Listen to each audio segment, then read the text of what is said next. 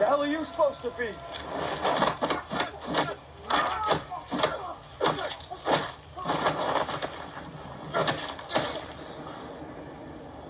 I'm vengeance.